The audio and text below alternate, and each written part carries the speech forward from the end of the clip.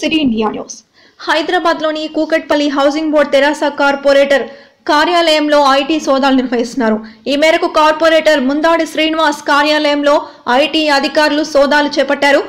ముందాడికి సంబంధించిన ఓ కంపెనీ విషయంలో ఐటీ అధికారులు దీనికి సంబంధించి విషయాలన్నీ ఆరా తీస్తున్నట్లు సమాచారం.